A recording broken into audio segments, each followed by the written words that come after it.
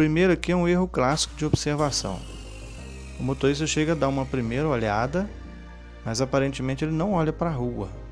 Ele olha para o companheiro que está do seu lado. E na hora de sair, ele olha só para o lado esquerdo. E aí ocorre a colisão.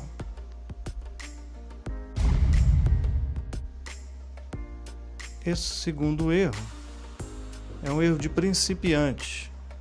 É uma questão de mecânica do carro. Tá? O carro ele engata ré, só que ele ele perde o controle, provavelmente tira o pé do carro de uma vez. O carro então acelera violentamente. A gente percebe que ele consegue controlar, mas está muito nervoso, chega a ser cômico, bate de novo. Nesse caso, gente, é só pisar na embreagem que o carro vai reduzir a velocidade sozinho.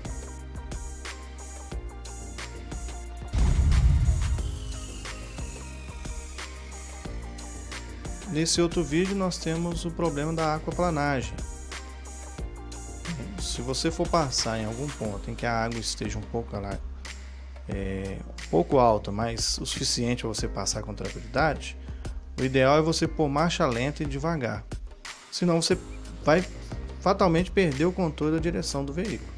Foi o que aconteceu, deu uma colisão.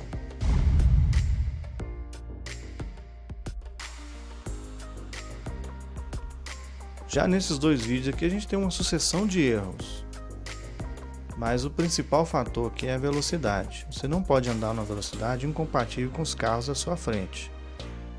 no primeiro lance, um carro passa à frente de outro e aí acaba ocorrendo a colisão com o outro que vinha cortando. Um caso semelhante é esse segundo, onde o primeiro carro reduz a velocidade e aí o outro está com velocidade muito alta, incompatível com a pista, sem reservar a distância, ele acaba colidindo é, com vários carros, né? Aí.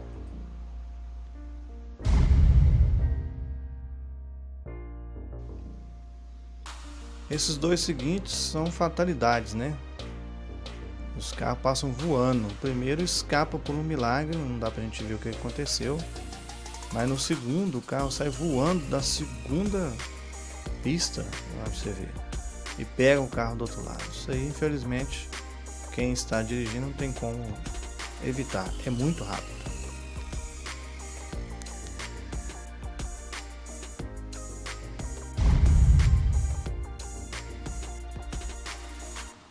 Nós vemos a seguir duas sequências de problema com pneus também são inevitáveis, né? Os dois pneus saem do caminhão e depois de colidir no primeiro caso aí o carro tem mais azar, né? Destrói bem os dois carros.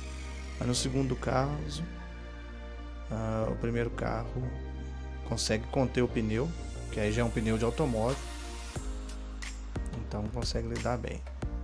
Essa soltura dos pneus ocorre é, quando você está com a roda pamba. É, observe os caminhões que estão na estrada. Se ele está com as rodas traseiras sacudindo, isso pode ser um sinal de que elas estão é, ou frouxas ou ele está com problema de rolamento. O seu carro também pode acontecer isso. Se alguém sinalizar para você e você perceber que o carro está escorregando muito fácil, não vacile Pare, olhe, reaperte a roda, se for o caso, use o macaco, levanta a roda. Tá?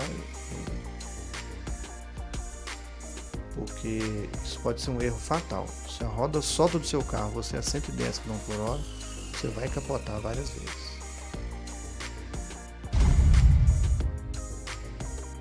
Aqui nós temos dois erros. Um do primeiro motorista que passa o sinal vermelho. Mas se você observar bem, o segundo motorista, mal o sinal abriu, ele já está cortando. Isso é muito arriscado se você vai enfrentar uma via de trânsito rápido, que parece ser aqui, ó, você vai entrar numa rodovia. As pessoas andando na rodovia, elas estão mais dispersas em relação à sinalização de trânsito. E isso pode ser causa de tragédia. Já esse segundo caso aqui, é, a pessoa chega e calcula mal a entrada dele na pista.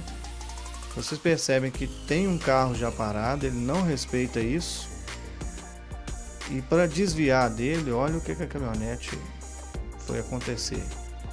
O cara causou uma tragédia aí por imprudência, né? Já tinha um carro parado lá, era só ele esperar a vez dele mas ele entrou na frente da caminhonete. Imagina se né, a gente não sabe se alguma vida aconteceu ali, algum problema, mas se fosse um escolar, um ônibus, seria uma tragédia bem pior por uma pressa. Né?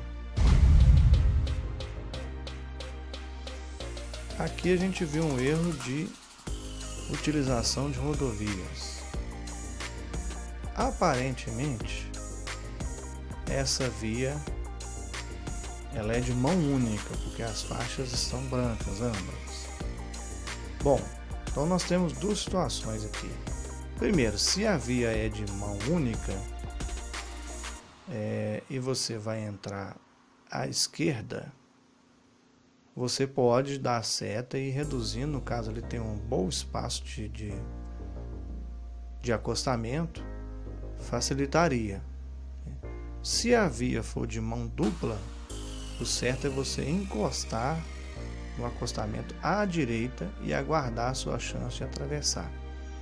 A gente vê que os carros já vêm em alta velocidade cortando a faixa da esquerda e o motorista está até dando seta, mas ele chega e entra de uma vez. Aí ele acaba causando a tragédia para o segundo carro.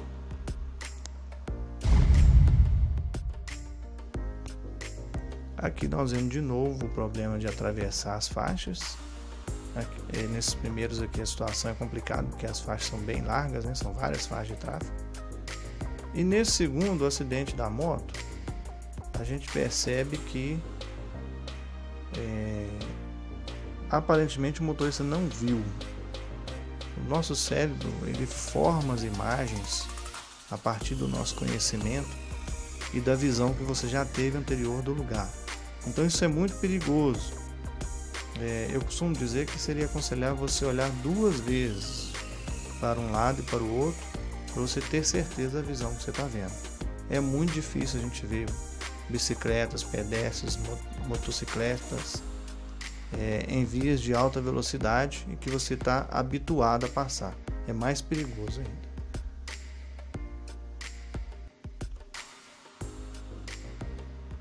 Bom, pessoal, são essas dicas aí. Não esqueça de deixar o seu like, se inscrever no canal e lembre-se, você também é responsável pelo trânsito. Um abraço, até mais.